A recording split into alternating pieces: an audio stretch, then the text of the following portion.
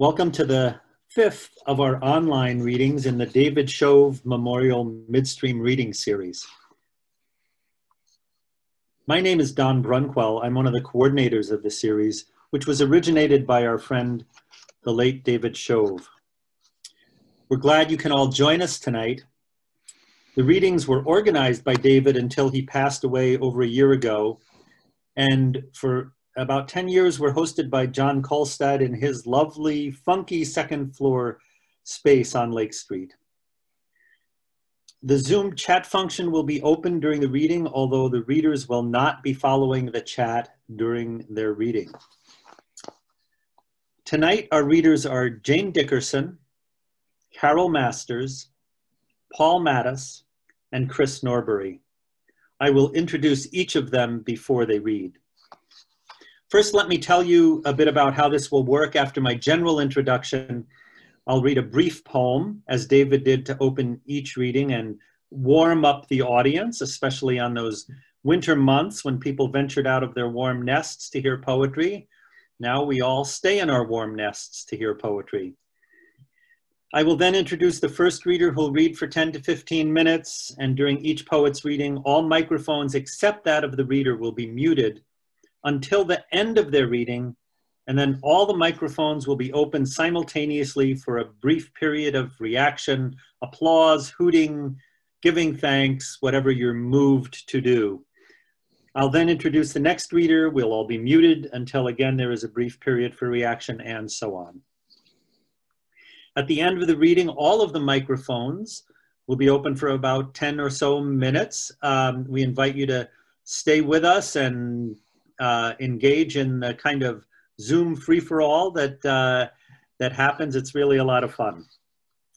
So that's assuming all of this works according to plan. Spontaneous changes by the webmaster are, of course, possible. I do want to mention that tonight's reading will be uh, available in a few days on the Midstream website. So uh, you can just Google Midstream Readings and you will find us. So before COVID, it was our tradition to gather before the reading at Milkweed Coffee House at 3822 Lake Street and gather afterwards at Merlin's Rest, 3601 East Lake.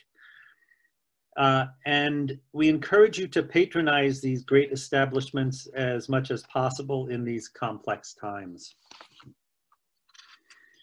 So now uh, I'll open today's reading with a poem by Alan C. Fox it's titled Friends. Many of us had gathered in the room. Unnoticed, I sat on the corner of a sofa. I said, I think we are here to share our stories. Who would like to share their story? A woman said, I have always wanted to fly.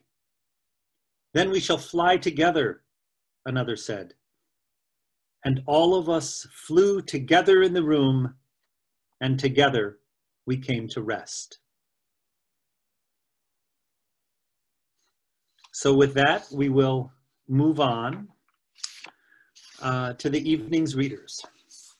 Our first reader is Jane Dickerson, who studied with poets Stanley Plumly and Michael Collier at the University of Maryland at College Park, where she received her MFA. She has taught English at the secondary and college levels, as well as at the Minnesota State Academy for the Deaf in Faribault. Prior to that, she worked many years as an RN. She's the author of the book, The Orange Tree, Early Poems, published in 2015, and has been published in several small magazines, including Says, West End, Ethos, Poetic Strokes, and most recently in Quarantine Journal 5.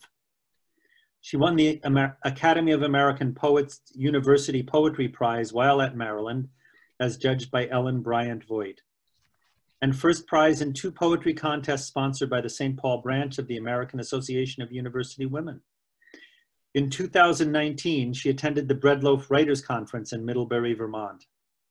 Today, she resides in St. Paul after having lived in numerous regions of the northern and southern United States. We welcome Jane Dickerson. Hi, thank you, thank you, Don, for that lovely introduction. I so appreciate it. And um, I appreciate being here tonight at the Midstream Reading series. Uh, I wanted to do this for ages, so it's really nice to be part of it this evening. Uh, I, I don't want a, a, special hello to my sisters, one in Dallas, and then uh, my other sister and her spouse in Texas. So that's really special. And I was hoping my brother would make it, but I don't see him. And then a few other special friends, and it's really good to have you here. Thank you so much. Uh, I'll start this evening with a poem for Stan Plumly, who was my mentor at Maryland, as Don said. Now, that was ages ago. That was 30 years ago. And uh, in the intervening years, I didn't do a whole lot uh, traveling in those numerous areas of the North and South, Southern United States, and uh, raising a couple of children. Uh, anyway, Stan was a remarkable teacher uh, we had a rough start, but after that, he became, um, uh, I don't know how to explain it, you know, just kind of a charismatic leader for me, teacher. And um, I'm forever indebted to him. So I've written a poem for him after he died last year. It's called Simply for Stan, 1939 to 2019. Winter, an early jay arrives just outside the window and sets the hanging feeder swaying. The bird steadies, beaks the seed, teeters, then dumps the new snow in a flash of blue. The jay you saw startled, delighted. You hadn't heard or seen one in so long. You'd become a city man, had almost forgotten its sapphire blue. It's queedle you wrote, its complaint. I imagine your bird on a sunny day, the summer you saw it, in good light. Although air and sky are its elements, if frightened, one will take to the center of any dense tree or shrub at hand. What took you, you believed, fell like the dust of stars into your mouth. Airborne, aerial, floating, falling, fell when you were born and waited with considered patience until you'd lived a long life to show itself as the sidelong crab, also known as Cancer, dimmest of the constellations, most cunning. R.I.P. Uh, the second poem is from April just after COVID began and, and we were all isolated. This Easter, it snowed all day, and we ate takeout ham, collards, and cheese potatoes from the Creole place. Ate in solitude because of the world's isolation. And in the afternoon, watched the 1978 version of Death on the Nile, starring Peter Ustinov, whom I mistook for Rod Steiger, the one who put his hand through the filing spindle in the pawnbroker, which I saw at the University Theater in the fall of 65 with Paul, the high school exchange student from Luxembourg, with whom I argued passionately about the accepted, though incorrect, usage of it's me. So sure, so American, while he persisted in saying, It is I, sincerely and low properly, no matter how hard I tried to convey how uncool it sounded. And I so wanted him to be cool because we were hopelessly straight. And probably because of that stubbornness, he became a doctor. And then the man who wrote letters for a year on that light blue airmail paper and his excellent script after one small shaky kiss on the front step before he returned home, who said he hoped one day to marry a girl like me, and perhaps did or didn't, but has left me ever to wonder in this 2020. Uh, one way I've been spending my time during this, this period here in our lives is to take a bunch of workshops from the Poetry Foundation in Chicago, which is pretty cool. Uh, those are the folks that first published T.S. Eliot back in 19, I don't know, 1912, 14, 15, something like that. And uh, it's a great, it's a great uh, um, uh, institution. Uh, and normally they offer workshops on uh, in person around the Chicago area, but now because of this, they've they have people uh, come to a Google Meet class from all over the world. The last one I was in, someone was there from Helsinki. Someone else was from the Caribbean, other people from out west, um, Ohio. It's amazing. Anyway, uh, it's just a good refresher for me. And I learned something new, and that I'll get to that now. It's a poem called a haibun. And I, I imagine a bunch of you have heard of it. Um, it's a Japanese form. It begins with a paragraph in the beginning, a prose piece, and then at the bottom, at the end, there's um, a haiku. And uh, let me think. 17th century Japan, I believe. Basho was the first one to bring to use it. So I'll do this. I'll read this one. It's called Haibun. Oh, and it features a fish. At the murky side pond of the lesser Langton Lake, the day I looked for swallows, the dressy tree kind in their blue-black tucks, the ochre-vested barn and the rough-winged, none skimmed the surface, nor dove, nor soared, the way they do, aerialists on tour. But on the other shore, shadowed by prickly buckthorn, stood a bird as sublime as a summer cloud, a great white egret balanced on one black spindle leg with three toes seemingly frozen midair. The yellow disc eye, shiny as a polished gem, watchful, intent. The long neck slipped an inch, then two, before the knife-like beak shot into the water and the orange blade jerked up with a bright orange-red six-inch koi, flopping crossways in the vise before being tossed headfirst into the bird's silky gullet. There it lodged for what seemed eternity, bulging the feathered neck as it was slowly choked down. In all, a 10 minute affair, and the white cloud floated on. Now for the haiku. This is um, uh, based on a quotation from a, um, a Portuguese poet named Fernando Pessoa who was born in the 19th century and died in 1935, I think. Thinking, a sickness of the eyes, inessential to knowing how to see. Okay, then another fish poem, and this is for my sister Pat. I hope she's still there. I don't, there, do I see her? Oh yeah, there she is, she's waving. Uh, it's called Cemetery. When summer ended, she carried them down the highway in a jar. It was my sister's ritual, the day before we left for home, to carry the goldfish she bought in June, fed flakes of rice, watched swim their oval dish, died beneath their castle gate, to carry them down the highway in the August heat to the cemetery where we climbed the mossy steps to the oblong pool, thick and green, and poured them in. Thank you, Pat. Uh, let me see.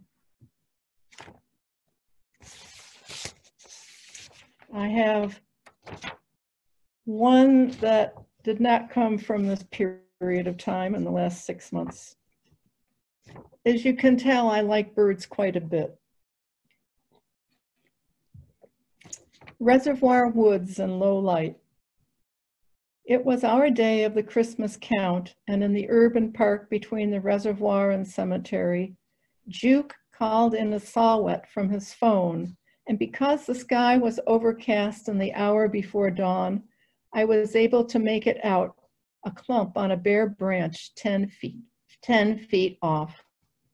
I shone the light on it so both of us could see the little owl and held the beam a moment until Juke said, enough, we'll leave it alone now. Then after breakfast, returned to see what else there was to see, which wasn't much. Spring now in the same woods, searching for warblers in the evening light. But only redwings whistle in the bone dry marsh, its raffia-like weeds trampled flat by dogs and deer.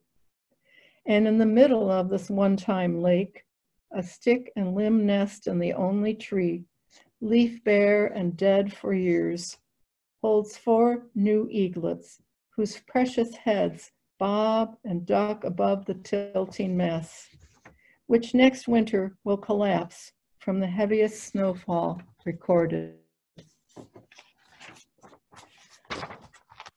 Uh, let's see. And I have one poem for my mother. This did come out of the poetry workshops. It's called Home. My mother's hands folded on her chest as she rests supine, listening to her books for the blind. My own folded when I lie down to sleep, now veined, skin thin like hers, palmate bones showing through. Hers in her last days on the respirator, folded the same, and in the box at church, her last home, my first home, where folded deep in her belly, I began. And I'd like to finish with a poem for the fall. Uh, this is from the book, The Orange Tree, which uh, Don mentioned. This fall begins with two red leaves outside the window and the sill where the moss cocoon lay dormant in its jar all last year, the sky cloudless and with each hour, each day, more blue. It starts this way with just the outer leaves, the branch gone red until the limbs inflame, the sky all brightness, and then the tree. This heat in the eye burns clean and clear, Glory is a sign rising from the outstretched hand, lifted in an arc across the face, pulled on fingers splayed, fingers waving, a spirit drawn from the uncupped hand. Two hands show praise, touch twice, unheard, then rise above the head and draw two circles, a single voice. They clap again, and again they rise, circling wider, brighter, louder. Outside, the tree a blaze of red, the sky so blue, the branches pull and pull. Each leaf lifts finger-like and luminous, touching first the palm and then the open air. Thank you very much, all of you, for being here. Uh, wonderful. Thank you. That was Jane Dickerson. Thank you. And um, Jane, that was great. I said that everyone would be unmuted, but unfortunately, there's no way to unmute everyone anymore. So we all have to thank with gestures. So let's thank Jane.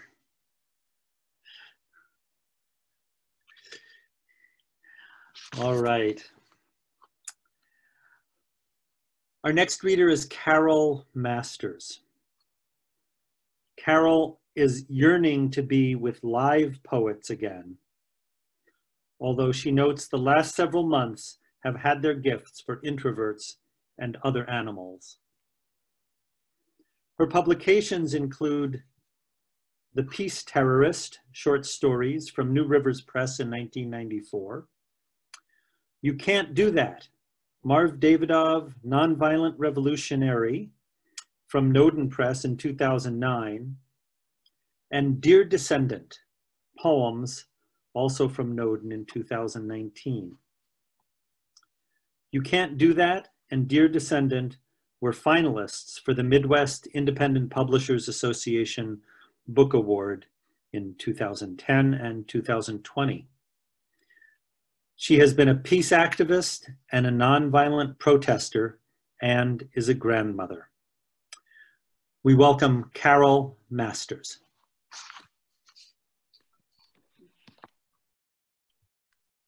Thank you. I'm so happy to see all of you and thank you for arranging this. Don and, and Paul, who's the technician today. Um, I'm going to begin with the title poem from Dear Descendant. Dear Descendant, if you are there, I am trying to tell you. Yes, I knew. Yes, I cared. I was sorry for the oil coats on fulvous ducks, for the floating islands of trash, for any rivers carrying their dead zones to the Gulf. I knew, but I didn't know how to rise as fast as the seas. Please forgive me. I didn't know how dear you were to be.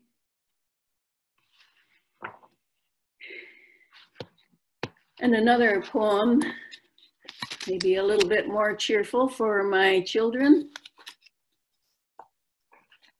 um, for their wedding day.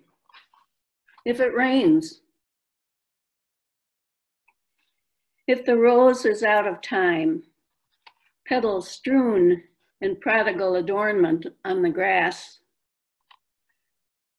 or lilies are late, bud sealed in their private embroideries, or two lavish columbines spill their belled pockets before your designated day.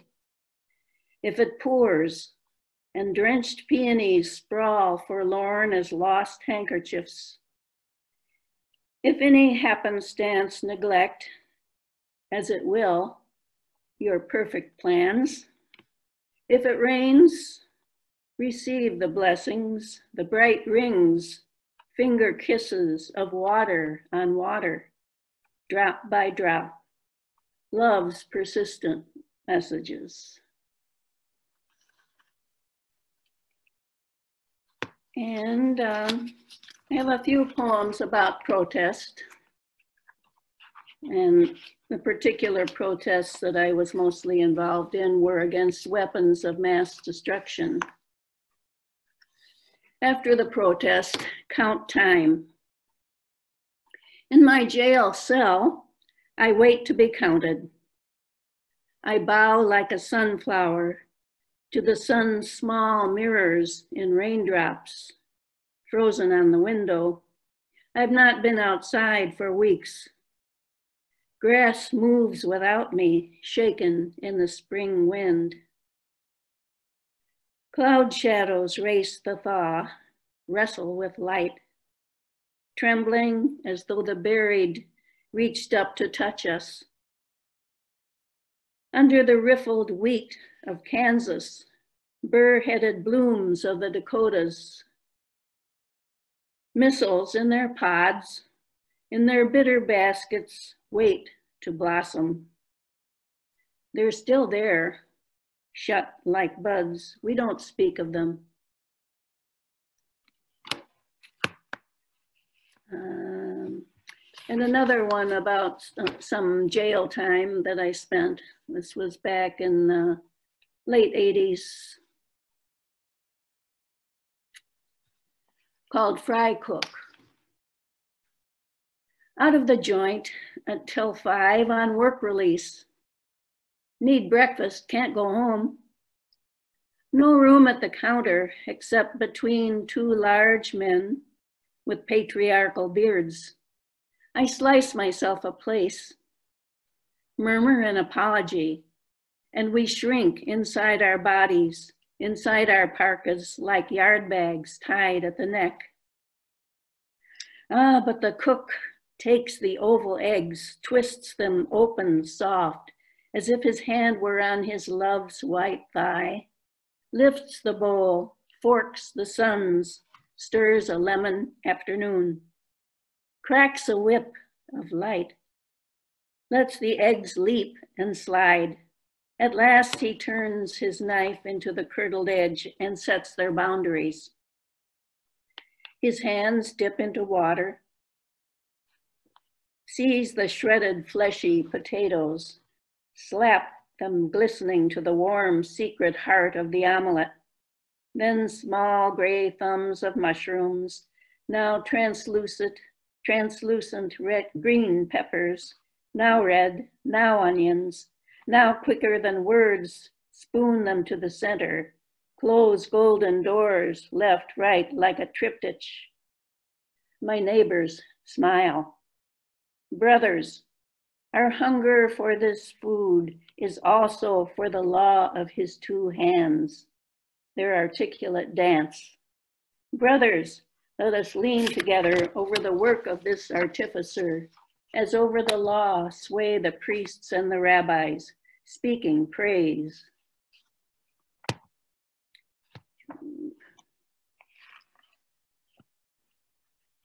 And one for, um, for my husband who uh, lives at the veterans home. He has advanced dementia. He's been there about a year and I see him every day on like this on FaceTime and he, he remembers me. I was going to take a trip this uh, April before COVID, but uh, that didn't that didn't happen. But it's called What If the Stars? You can't die while I'm away. I'm ima- I imagine rocking you, telling you the stars while we sit fire stunned as the evening deepens. Stars come suddenly, hidden until we turn from the blaze. It's so cold tonight. Water pale will skin, canyon mist begin to form ice feathers on thick beds of leaves. What if the stars turned on singly with a ping, like canning jars, cooling in the kitchen? We wouldn't go to sleep until we heard the last one sing. So that was that was a camping poem. We did a lot of camping when we were younger, sometime with sometimes with our kids. Uh, I'd like to read another camping poem.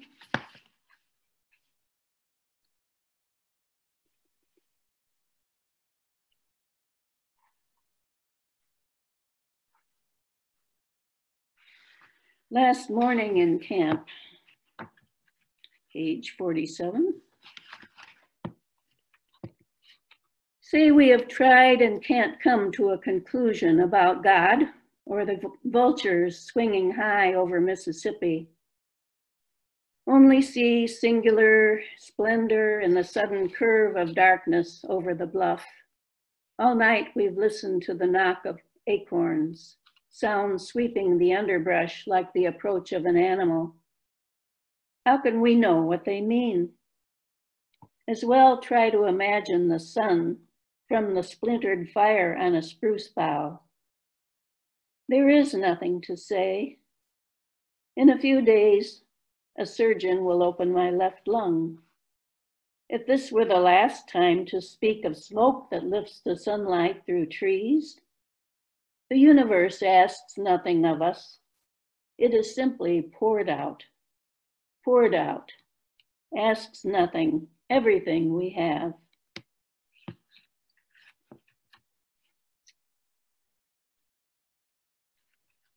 And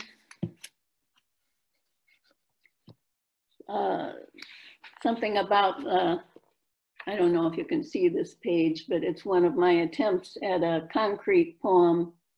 Uh, it's about ants and it goes down in a dwindling swarm. Ants call to action.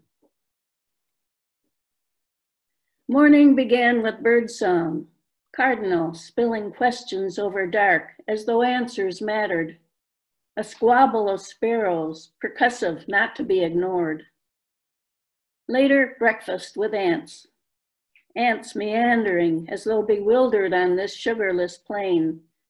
Now a dozen ants apparently mapping the area. I remember Ma telling us how to capture ants with candy, to place them gently onto peony buds. Those tiny mandibles heft five times their weight yet are soft enough to unfold a flower. So my Buddhistic practice has been to haul candy alive with a thousand feet claws to tickle open shut buds. Why do ants not fall when hanging upside down? Except now. Now that crack in my skylight's frame shimmers. A dark, indefinite glisten separates now two, three, dots drop, dozens more advance directionless, faceted compound eyes see a thousand me's, hordes swarm. I climb on table, vacuum in hand, me mechanically attack. They drop, attack back. Un-Buddhist like, I swat, dance, retreat to shower. Answer in my hair, clothes, underwear, biting, can't scare them. Frightened, ants secrete substances to warn their fellows. So what would you do? Dropped to a warming planet? All around you, wars, bodies broken like promises? God of ants, supposedly unlimited, in this whirl and crash absent? Sisters, insects, awake and use your jaws if you must, but preserve this lively anti-ness. Okay.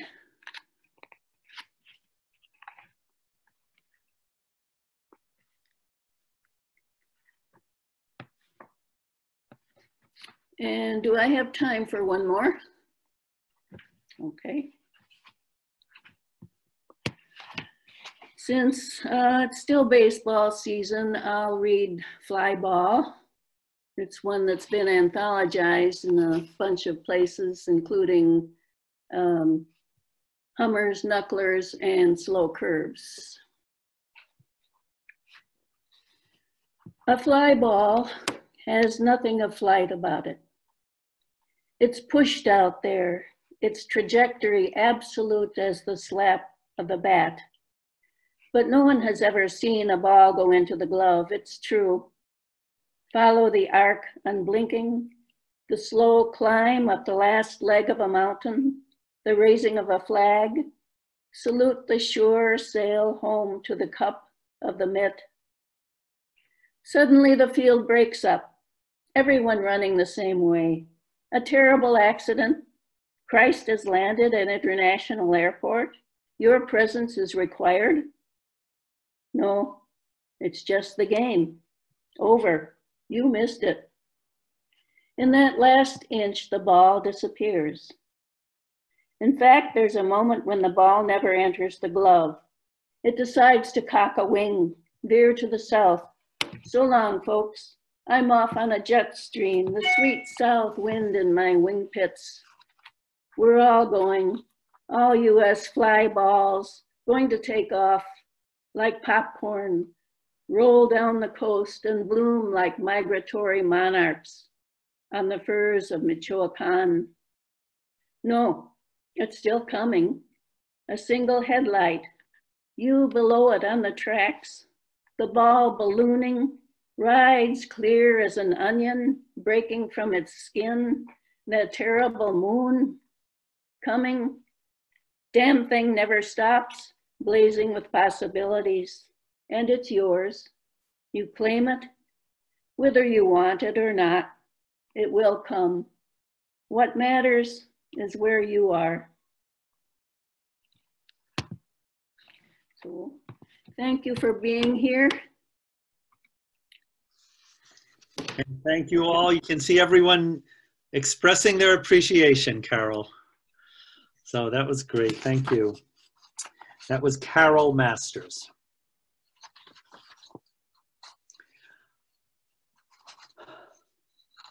Our next reader is Paul Mattes.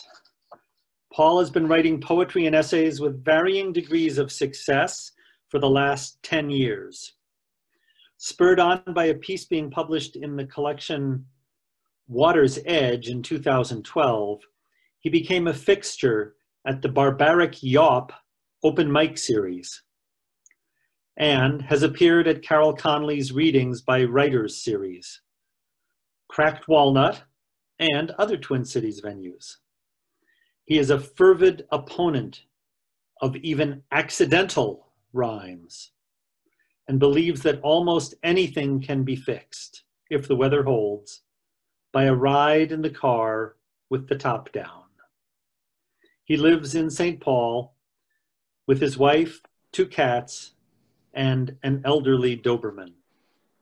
We welcome Paul Mattes. Thank you. um, first poem is called The Line Break.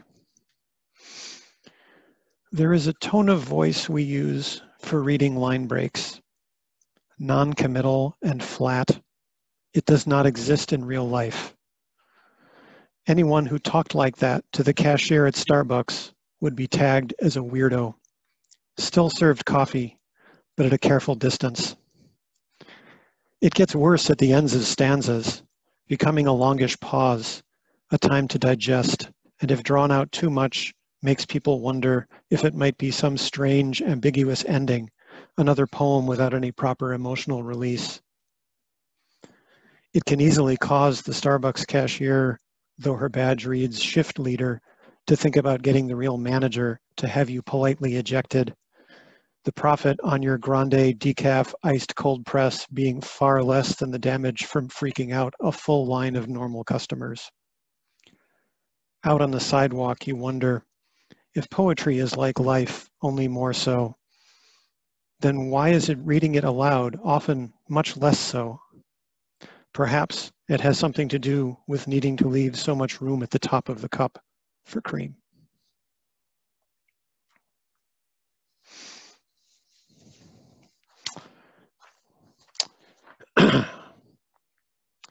this is called Monday morning.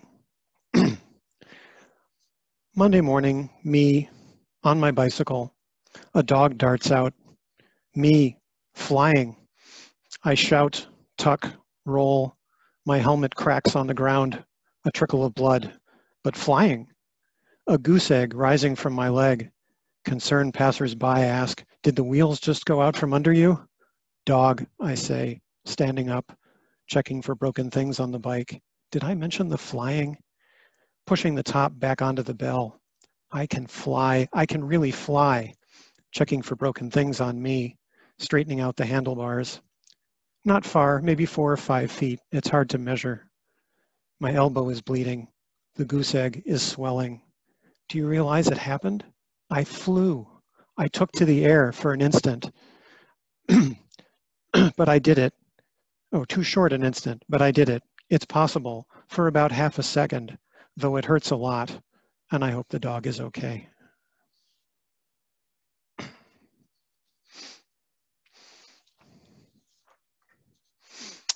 Is called elevator. The doors rolled closed, thump. The floor jerked, the motor hummed, the elevator car trembled. I looked at all the black buttons so high up, so confusing. I clenched my eyes and fists tight. I stood in the middle, and held the floor with my feet. We had been in the part of the building we weren't supposed to be in. We were exploring the old part. We crept around darkened corners, across shiny, worn floors. Maybe we'd get caught, but sneaking away was so delicious. When we got to the elevator, someone reached up and pushed the button. No, I said, don't do that. Someone will come. The doors opened, light spilled out. The big kids, they went inside. They pushed all the buttons. They pulled me in and ran out. I had told them I didn't like elevators. I had told them I was afraid. You're supposed to tell people when you're afraid. The door jerked again. The doors rolled open, and I didn't scream.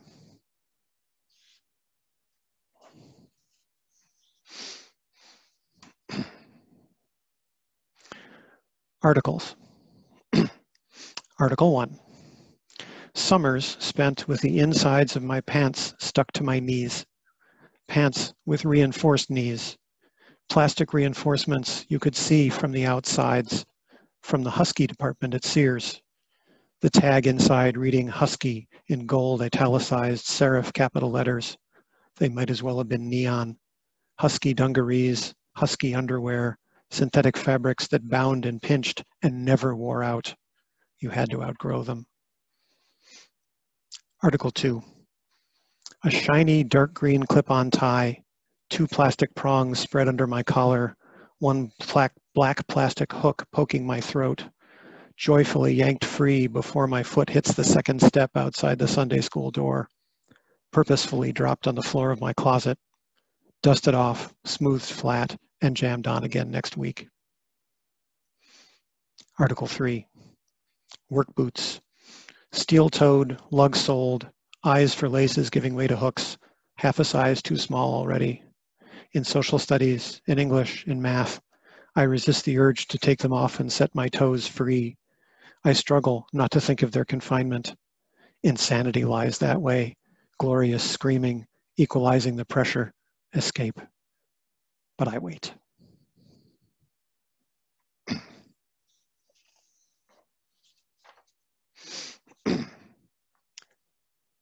pudding. there is a snap, a little orange flash above the glow of the bowl. Seed, I say in a knowing gasp, my throat clenched tight to keep from letting out too much of the smoke. Everyone knows it's a seed, everyone being David and me, but it's part of the narrative like, this is great shit, and why do you use duct tape to make all your pipes, and when does your mom get home? My head is full of pudding, butterscotch pudding, waves and swirls that nothing moves through quickly. And man, pudding sounds really good right now. Man, have you got any pudding? What? Give it here, quit hogging it. You ate a whole bag of Ruffles last time. That I did. I giggle like a Saturday morning cartoon character, and I wonder if there's anything I can sneak on the way out. Shit, it's late. Time to go home. I push the basement, basement stairs under me, and David's kitchen appears. I glide through the door outside. Each footstep is fascinating, slow, rhythmic, down streets, around corners, rotating the entire planet like a giant ball. Home swims into view. I grab the railing hard to make the house stop moving. My key works and I'm inside. What's for dinner? I call to mom. I don't hear the answer, heading upstairs before she can see my eyes.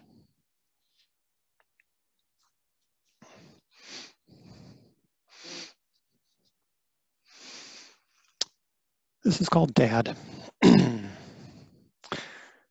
Master of the aluminum stepladder with paint splotches older than me and hinges eager to pinch fingers. Reticent keeper of curse words, begun but never finished. The best driver in the world, hand draped over the top of the wheel, flipped up to check our speed. A man of infinite height with infinitely large feet and infinitely long legs expert photographer, measuring the light with his meter, safe in its gray plastic case, then flipping open the top of the twin lens, twin lens reflex at his chest, fiddling, focusing, then clicking the shutter, with a remote cable release shooting Kodachrome slides. Occupant of a folding lawn chair in the backyard, a vodka martini, martini in his hand, calling it a Martinez and chuckling to himself keeper of the turquoise barbecue grill started with an electric wand with a crank to raise and lower the tray of coals, bending down to kiss my mother in an exaggerated pucker, yelling at my sister in exasperation, showing me how the world works.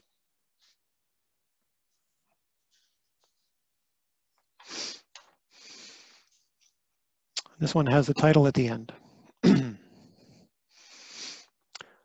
Eyes not dotted, a kitchen drawer slightly ajar, Paint chipped at the edge of the doorframe, a squeak from the bicycle chain, a leaf bent where the cat chewed it, an itch just out of reach between the shoulder blades, a chill you can't shake, an off smell in the refrigerator you can't pin down, fingerprints on your glasses, a loose thread on a button, fading daylight, remembering aubergine but not eggplant, a twinge behind the kneecap coming up the stairs, that funny numb spot on your finger, the corner under the desk that never gets dusted, the girl you were afraid to talk to in high school, the chocolate you shouldn't have had, distant sirens growing closer, a stopped clock, a pocket about to rip through, not meditating.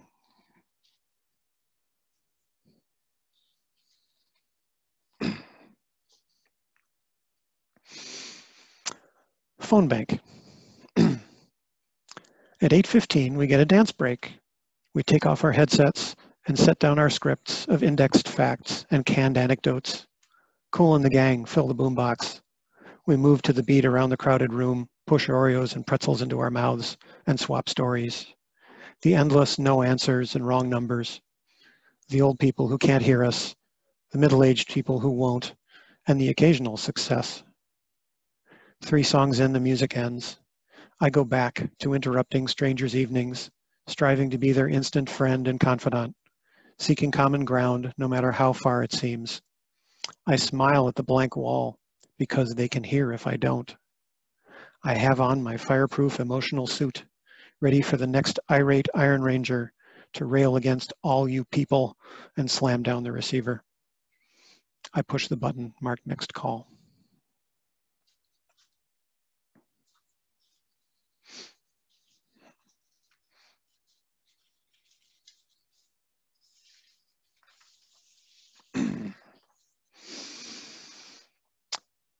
She said,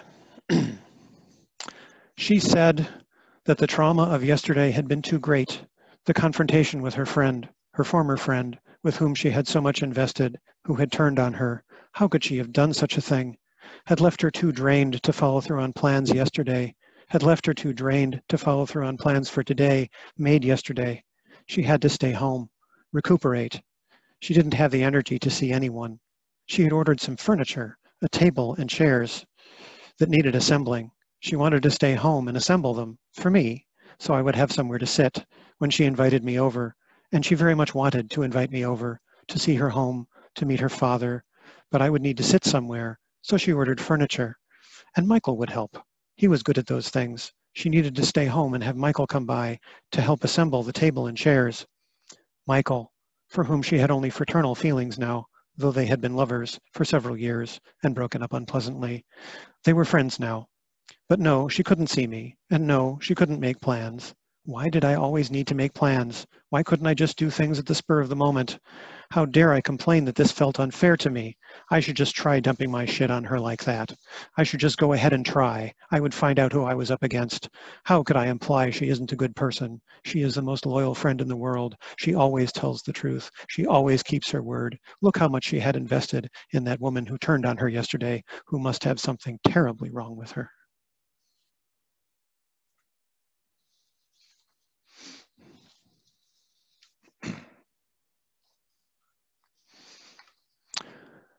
Leaving Northborough. My throat was so full of words that none could escape as Gail and I pushed Northborough away hard, further and further behind us. We left the duplex with the flooded basement, the attic fan that sucked insects through the screens, the cheap brown carpets, the loose newel post, the fool next door, his girlfriend, and his BMW out front. My station wagon and the rented trailer were filled with things too precious to trust to movers. We brought two ferrets, one dead, from the freezer to bury, a carefully packed box of antique pottery, and a dozen houseplants I would kill out on the front porch of our new place, unloading the car in the cold. We left a mountain of rubbish on the deck from the final, final frenzy of packing and hoped our haulers would take it. I, gave, I told Gail her electric typewriter was still in the attic near the hatch, and all she said was, yes. We brought pillows and blankets and contraceptive sponges. We left my acid reflux in the master bedroom with its windows at perfect eye level for the engineers of passing trains. We left our shouting matches, the floors stomped on and pounded with fists, and the bitter silences that followed. We stared ahead through the windshield and waited for home to arrive.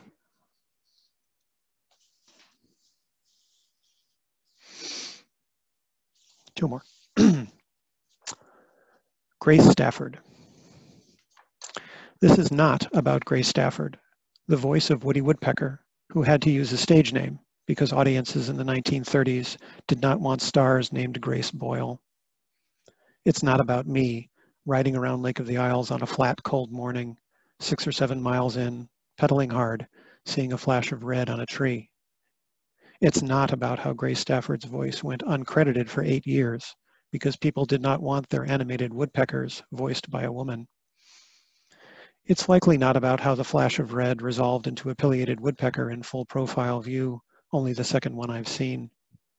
This could in no way be about movie theaters filled with woodpeckers, watching animated shorts full of ornithomorphized humans, wisecracking and pulling pranks, wings replacing arms, their toes ending in powerful talons so they could cling to trees, like everyone. Most likely, this is about how cancer took Grace Stafford in 1992, how the woodpecker let out a penetrating cry, unfolded its huge, unlikely wings, and dove off to the north, how I clipped back into the pedals and finished my ride.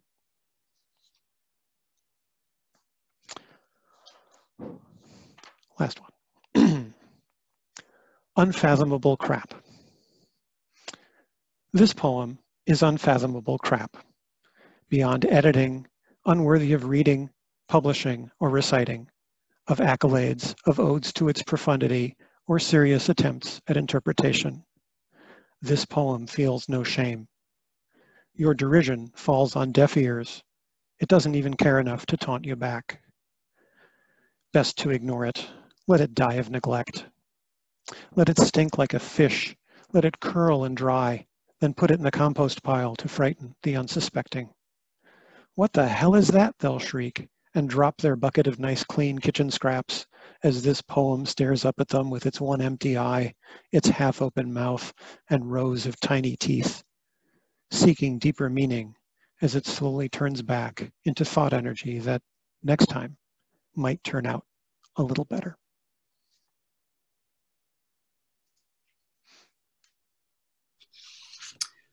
Thank you, Paul. That was Paul Mattes. Thank you.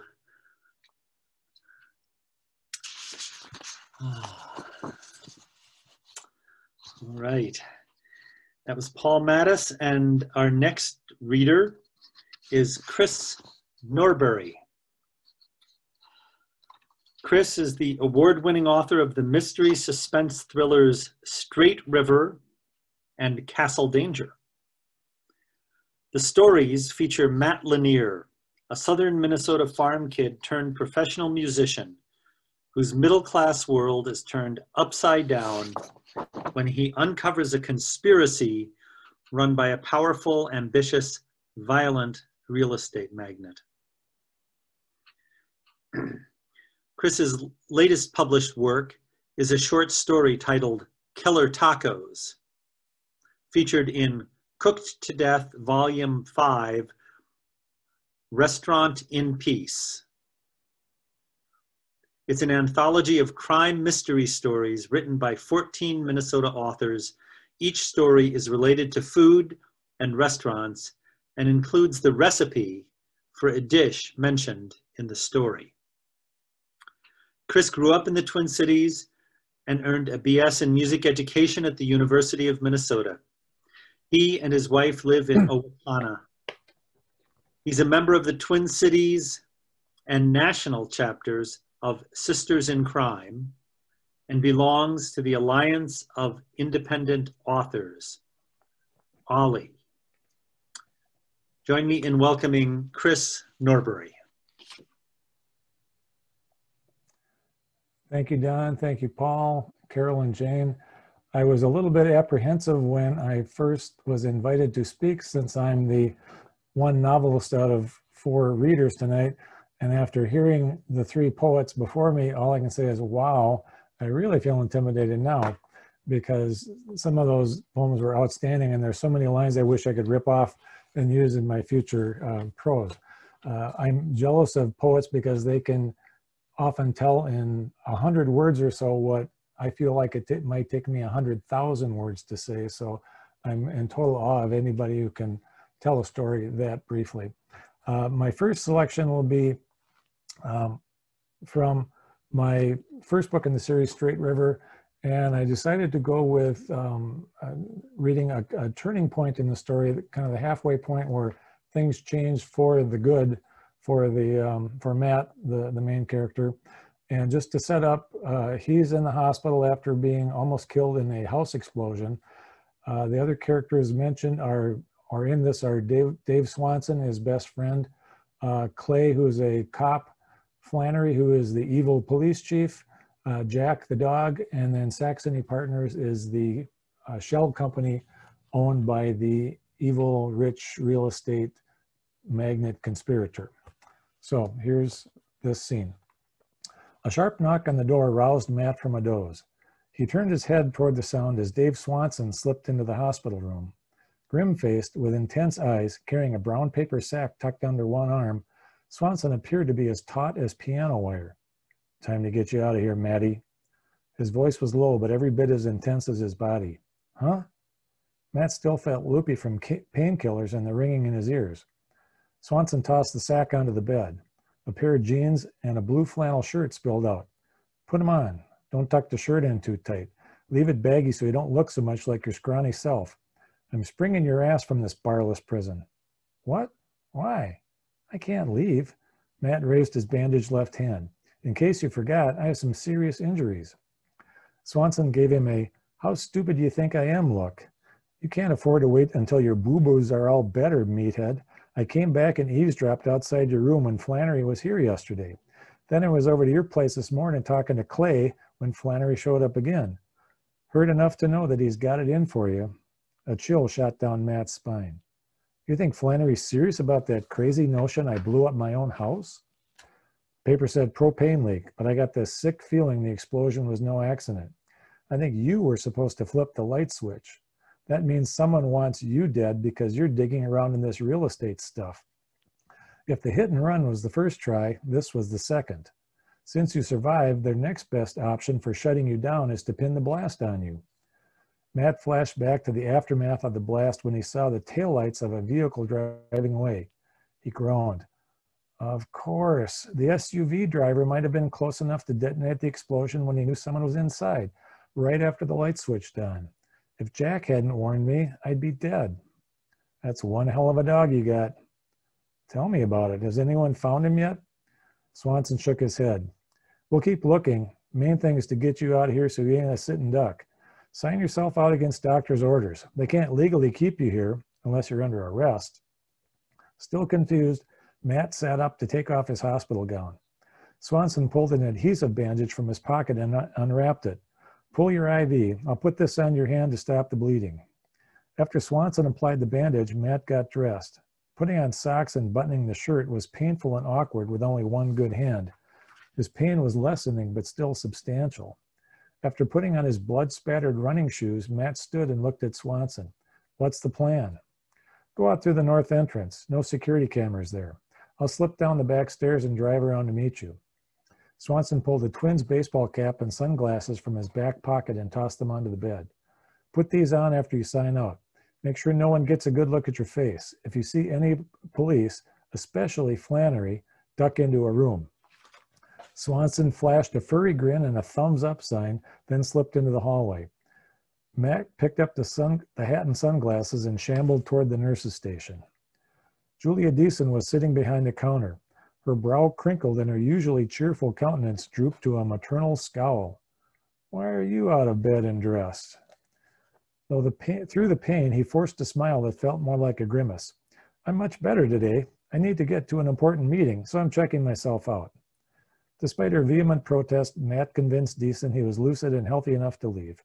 Then he got into the elevator and donned the cap and sunglasses when he reached the main floor. Before exiting, he peeked out and glanced from side to side, scanning for police. He felt as if he were playing the role of some lowbrow secret agent in a high school play. As he stepped outside the north entrance, Matt spied Swanson behind the wheel of a Dodge pickup idling at the curb. He hesitated because Swanson owned a Ford. Puzzled, Matt struggled into the passenger seat, gasping as pain shot through his ribs. Where'd you get this truck, Swanee? Borrowed it from a trusted friend. Mine's parked a few blocks away. I didn't want anyone to see my truck at the hospital because they've got security cams watching the main entrance and front parking lots. We'll switch in a minute. Moments later, Swanson pulled into the parking lot of a deserted commercial building. They switched vehicles in seconds. While Matt fumbled for his seatbelt, Swanson zipped out of the lot. He took a sharp turn too fast and drifted across the center line before he corrected and narrowly averted a collision with an oncoming car. Matt gasped and grabbed the door handle. Damn, are you trying to save my ass just so you can kill me in a car accident? If I'm supposed to worry about Flannery, getting arrested for speeding won't help. Swanson didn't slow down. The sooner we get you out of sight of everyone, the better. Who's everyone? Flannery, the SUV jockey, Saxony Partners? Matt stiffened. How the hell do you know about Saxony Partners? I never mentioned that name to you. Swanson glanced at Matt, then focused on the road. His fingers were white from the pressure he exerted on the steering wheel. Until this afternoon, I worked for them. And that's that chapter of Straight River. The next piece is from my second book in the series titled Castle Danger. And this also stars Matt Lanier. He has had his life totally ruined in Straight River, and now he's just trying to survive the best he can. And um, one, uh, one of the things I was praised for in a, in a contest I entered, the judges thought I did an excellent job of communicating a sense of place. And there's no place that has more uh, sense of place to me than northern Minnesota in the winter. So uh, see if you can get the feeling for this, even on this fairly balmy September day of what it might be like out here in the wilderness. Uh, this is the first chapter of Castle Danger. Matt, Matt Lanier stood on the middle of Snowfall Lake, gasping for air, wobbling on his snowshoes. His leg muscles quivered on the verge of collapse. His pulse pounded like double-time timpani beats in his chest and temples. Each icy inhale rasped his throat. Gusts of wind threatened to knock him off balance. If he fell, he doubted he could stand again, let alone walk. Micro diamonds of snow whirled across the open expanse of white and crackled against the hood of his parka. He'd hit the wall many marathon runners experience after about 20 miles, except his wall was made of ice.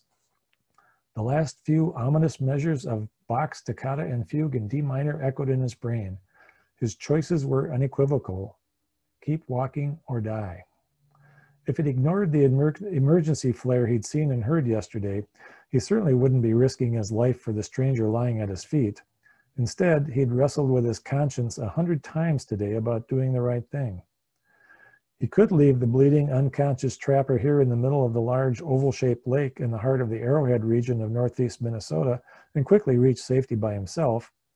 If wolves didn't feast on the remains, or if a Forest Service plane didn't discover the body before ice out, it would sink to the bottom and no one else would ever know it had happened. He looked back at the mummy-shaped load on the makeshift sled tethered to his waist. Wisps of breath vapor rose slowly through a frosted patch of the black scarf covering the mummy's face. Incredulous, Matt snorted and shook his head. I'll be damned, he said to his cargo. Looks like we keep walking.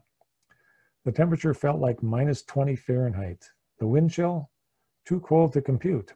Building a fire and shelter to warm up would take time he didn't possess. Since leaving his campsite in the pre-dawn light, he'd covered approximately eight of the 10, of the 10 miles he needed to travel to reach safety. Sunlight reflecting off the crystalline snowpack stung his eyes as he gauged the angle of the impotent January sun, mid-afternoon. He'd badly miscalculated his travel time. Good plan, genius. Two hours of light, two miles to safety. Too much to ask of his body? After dropping his ski poles, he pulled out the Gore-Tex outer mitt and the insulated inner glove from, from his right hand. He fumbled in the outer pocket of his parka with stiff fingers for the last of his venison jerky. The few bites of dried deer meat comprised his only energy source for this final push. Crusted ice cracked off his ski mask when he opened his mouth. Chewing the jerky was easy once it broke into small, icy meat chips. After eating the last salty but otherwise tasteless bite, he donned his glove and mitt. You damn well better stay alive, he said, angry at the man for intruding on his life, because I'll get royally pissed if I do all this work for nothing. His unconscious passenger replied with more breath vapors. Matt forced his body back into work mode and groaned from the exertion. He was almost ready to give up when the sled grudgingly moved from the deep powder. He took a step, then another, and he was underway. A feeling of triumph surged through him. With every step, he dreamed of warmth, rest, food, and gulping quarts of water instead of chewing handfuls of snow. He plodded on, fighting for balance as the raging northwest wind tried to topple him. He cleared the peninsula as the sun touched the tops of the tallest trees in the southwest sky.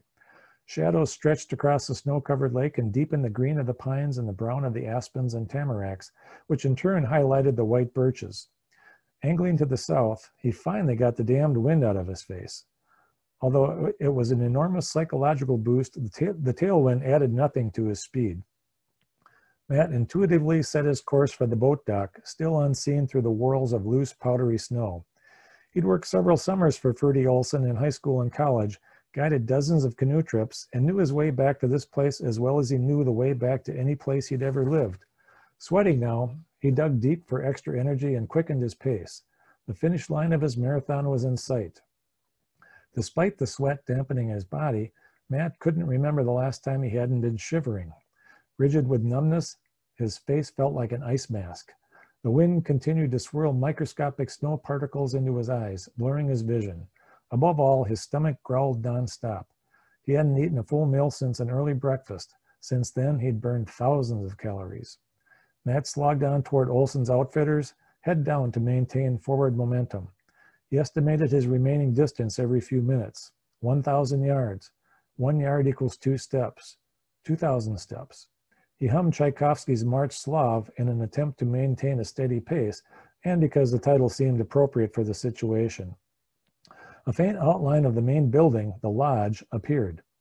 Ignore the deadly cold. He hummed louder. Ignore the pain. 500 yards left. Rise above the agony. Balance. Breathe. He glanced back at his passenger. Dying ain't allowed today, pal. Unless what awaited Matt at Olson's was a cop with a nervous trigger finger.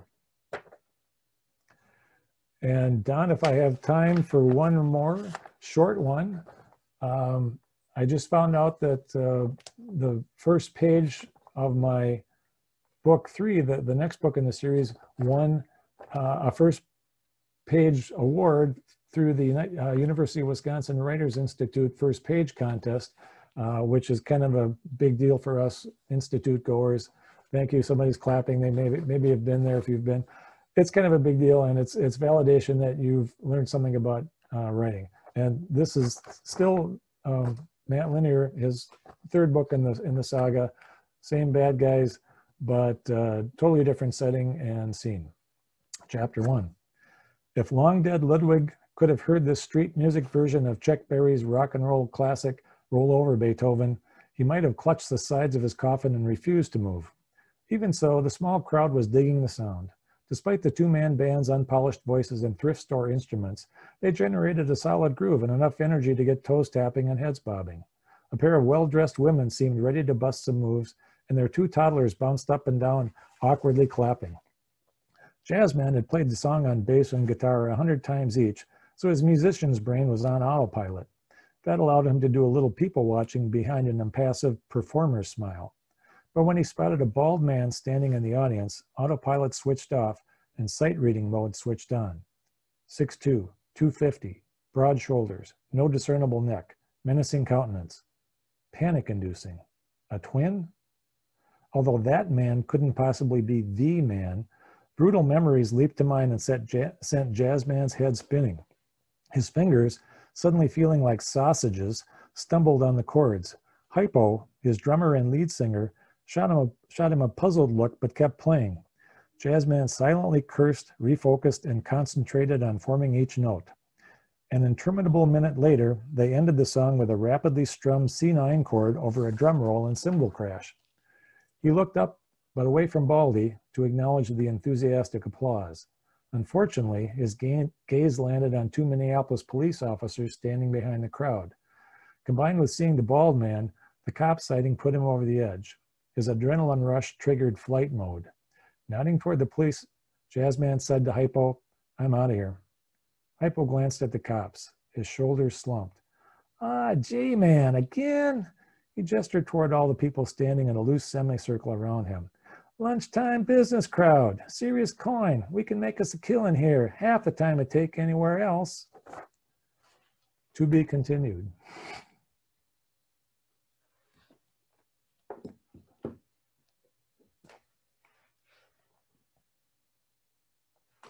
Thank you, Chris. Took me a moment to unmute myself there. Sorry. That was great. And congratulations on the first page award. So we'll look forward to more. So that was Chris Norbury. So I'd like to uh, thank all of you for joining us tonight. And again, thank our readers, Jane Dickerson, Carol Masters, Paul Mattes, and Chris Norbury. Next month, uh, our readers are Margaret Hasse, Ronald J. Palmer, Johnny Brigham, and Richard Terrill.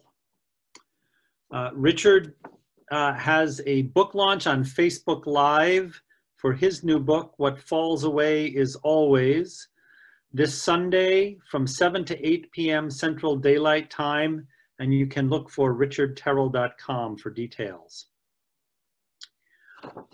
So we're very happy that you've all been with us for this uh, midstream reading. And so, Paul, if you can find a way to open as many microphones as possible, one by one, carry on a little bit of a conversation. And while he's doing that, uh, let's all visually again thank our readers Jane Dickerson, Carol Masters, Paul Mattes, and yeah, some actual sound too. Wonderful. Yay! All right.